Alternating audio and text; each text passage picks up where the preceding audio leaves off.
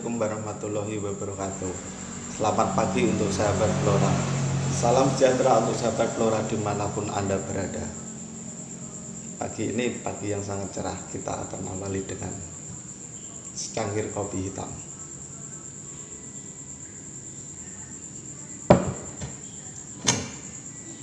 Oke sahabat, di video kali ini saya akan meninjau kembali tentang cara pembuatan bonsai kelapa overroot di mana suatu bentuk bonsai kelapa yang menonjolkan perakaran-perakaran yang kokoh ini.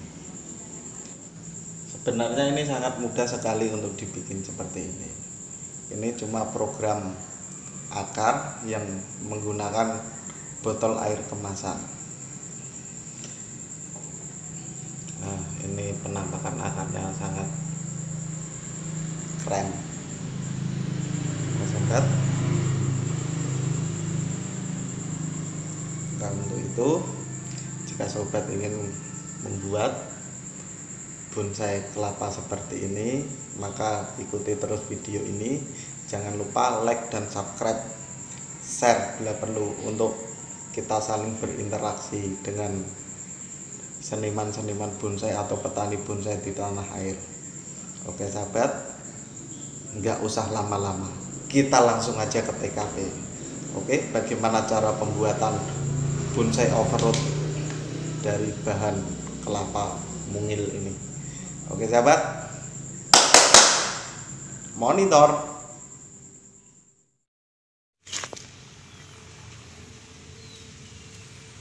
Nah, ini sahabat Flora, ini adalah program akar kelapa menggunakan botol air kemasan.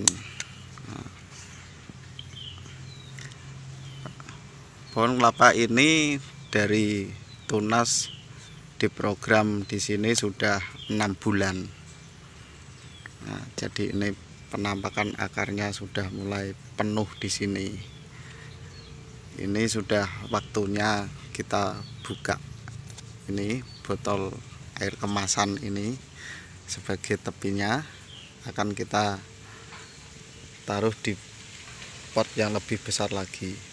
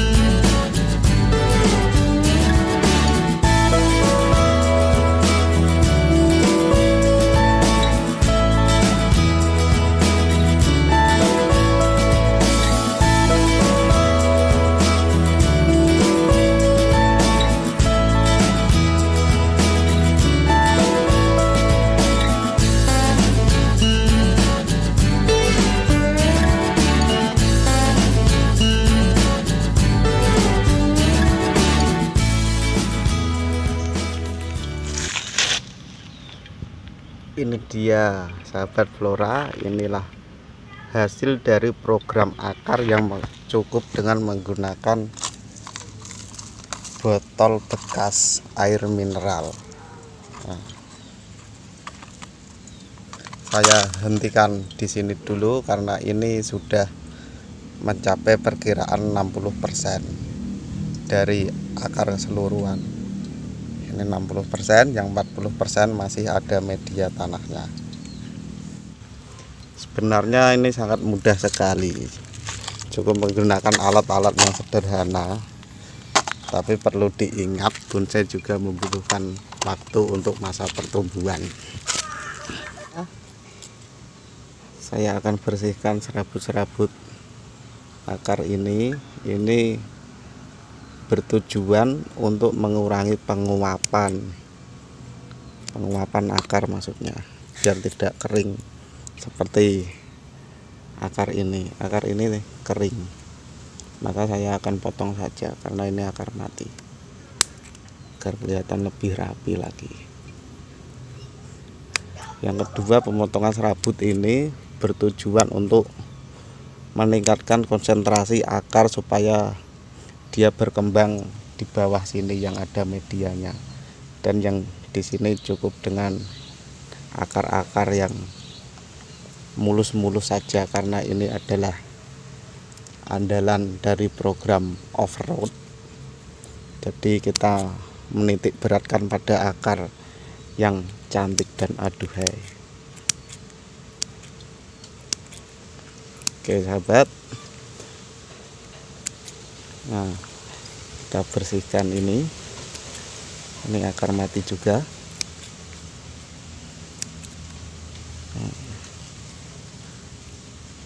Kalau sahabat di rumah ingin mencoba silahkan saja. Ini sangat mudah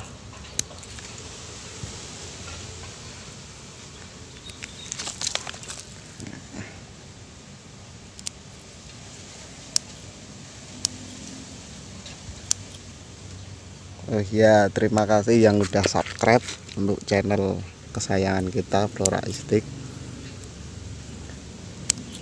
Terus ikuti kegiatan-kegiatan kami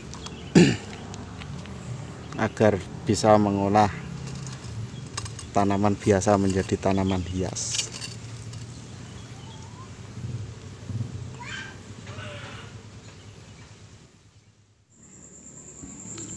Oke sahabat, itulah kegiatan pembuatan bonsai overload dari bahan kelapa.